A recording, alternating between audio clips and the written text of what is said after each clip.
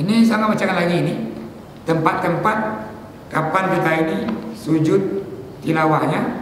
Yang jelas itu ada di 15 tempat. Di antaranya ini Al-A'raf 206 wa yusabbihunahu wa lahu yasjudun. Terus Ar-Ra'd bil ghudwi wal asal. Kita ada buku bisa buku yang tiada ini apa posisinya. Bil ghudwi wal asal. Terus di An-Nahl ayat yaf'aluna ma yu'marun. Terus ini Bani Israel. Ini ayat 109 wa yaziduhum khusyu'a. Seterusnya tadi Maryam dibacakan tadi Iza tutla alaihim ayatul rahman kharu kharu sujadaw wa baqiyah. Dan pernah Umar bin Khattab itu ke Jumat. Dan Umar bacakan ayat ini. Kharu sujadaw wa baqiyah. Nah Umar Khattab dari mimbar turun dan sujud tilawah. Dan jamaah pun sujud tilawah. Artinya bahwa ini sujud bukan dalam sholat. Karena umat menyampaikan khutbah Jumat dan baca ayat ini setelah baca tadi Umar turun dari mimbar dan sujud tilawah kembali naik mimbar. Artinya bahwa juga nggak selamanya tilawah ini mesti dalam sholat. Makanya boleh munfarid sendiri. Kunci dua ketika membaca atau ketika mendengar.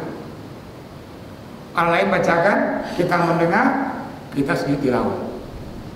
Dan jamaah Jumat ketika Umar khatib Jumat ketika itu juga sujud tilawah. Ini fi'lus sahabat, artinya asal sahabat boleh sebagai sebuah hukum. Sama hari hari ini. Kenapa ada tempat itu Jumatnya azan dua kali?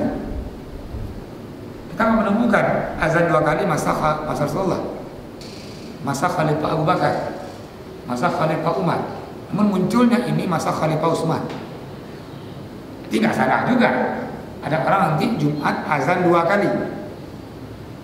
Nah itu mengamalkan azan dua kali hari Jumat itu, itu dia ikut asaru sahabat.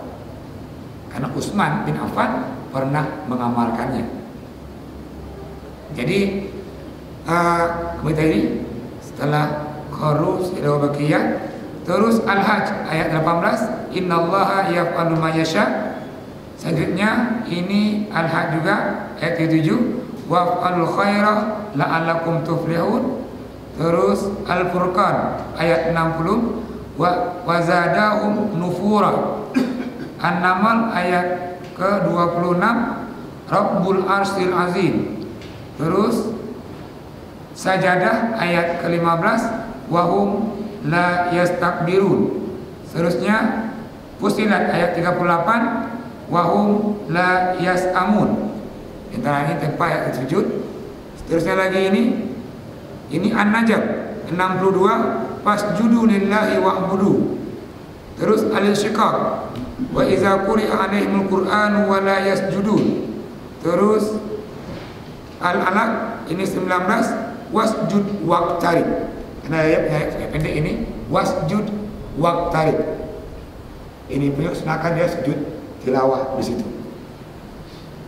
Nah inilah tempat-tempat tadi yang kita ini disunatkan untuk sujud tilawah. Maka yang kita lagi lagi ini bagaimana cara sujud tilawah ini perlu.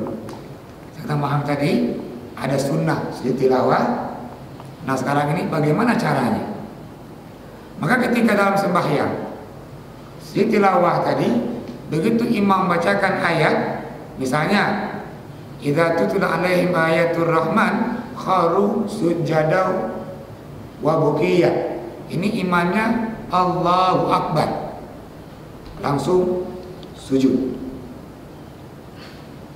sujudnya seperti sujud biasa apa yang kita baca? Yang pertama secara umum boleh bacaan sujud. Namun hadis menjelaskan dari riwayat Abi Dawud ini apa yang kita baca?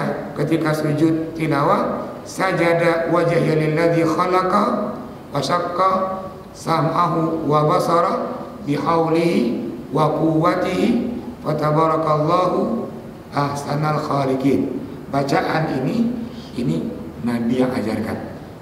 Maka ini hadis dari ya Ibnu Majah Hakim Wasohahu Tirmizi dan ini hadis juga sanad sahih kalau panjang dia maka dibaca tiga kali. Sanjaya wajahiyanim dan seterusnya itu tiga kali. Oh namun imamnya mungkin agak cepat cukup sekali. Ini yang kita baca ketika sujud tilawah. Habis bacaan kembali imam takbir. Allahu Akbar. Bukan sami Allah tapi Allahu Akbar. Bahkan Nabi mengajarkan demikian setelah sujud langsung berdiri tanpa salam ya salam dulu dalam sembahyang ini. Dalam sembahyang sujud tilawah bacaan Allah Akbar lagi. Maka ini cara sujud tilawah dan ini yang kita baca. Ya. Uh, bagaimana kalau seandainya dalam satu sholat mungkin dua kali terbaca ayat sajadah. Apakah mandua? Kita sujud boleh. Kita perintah tadi, kalau membaca, mendengarkan langsung sujud. Atau kalau tahu mungkin ada tempat yang kedua, imam yang tadi ini, imam nggak sujud di awal, diambil yang kedua itu pun juga boleh. Artinya dua kali baca dalam sembahyang tadi, nah, ayat sajadah namun imam sujudnya di ayat yang kedua, kayak yang pertama. Itu pun juga boleh. Jadi ini tadi cara sujud tilawah. Silakan yang mau bertanya. Iya. Hmm. Saji guna sujud tilawah, kita sujud apabila semua lanjutkan ayat. Kalau misalnya guna wajib waktu tadi habis. Iya. Dia sujud sajadah, sudah ya ulang kan. Gimana? Menyewa sujud waktu tadi no habis. Habis boleh. Buat sujud waktu tarik itu habis. Jadi dia dah sujud tilawah, berdiri rumah, rukuk juga. Ya. Kan pas di ujung ayat boleh wasjud waqtarib. Dah sujud Allahu Akbar Dah berdiri lagi ini Nah posisi berdiri tadi kan habis ayatnya Langsung Allahu Akbar Ruku Karena kebetulan Wasjud waqtarib itu Posisinya di ujung surat Di wakaf Namun kalau ada ayat lain yang bukan di ujung surat Sunnahnya dia sambung beberapa ayat apa tadi ini membedakan tadi posisi setelah kita sujud untuk pindah ke posisi ruku. Maka betul Rinda Miswar itu jawabannya. Terima kasih.